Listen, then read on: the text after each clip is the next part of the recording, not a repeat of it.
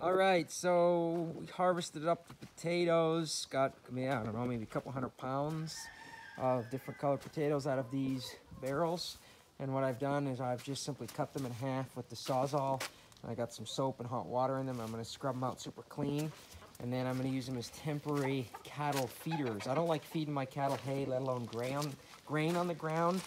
Uh, I think it's a good chance for contamination. The chickens scratch all over.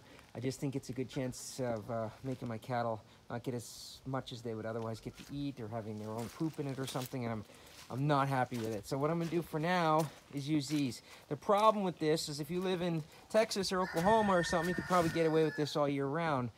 I'm gonna be buried in feet of snow soon. Uh, and this is not gonna work. So I'm not entirely sure what a more permanent solution is. What I'm thinking about doing is taking these and screwing them to the walls on the inside of the cowshed. The only problem I have with that is it might take up so much of their room in there that they don't really want to spend time in there. And maybe they won't anyways. They might not go in there because they're so hardy. Maybe they'll just go in there to eat. I really don't know. I have so many more questions and answers as a beginning rancher. It's not even funny. But for now, I'm gonna get these things clean and get them on the ground, get some hay in there, get some grain in there, keep these guys going. Forrest, my bull, is not looking well at all. I got back from a week away and he looks like hell. Uh, he's lost a bunch of weight.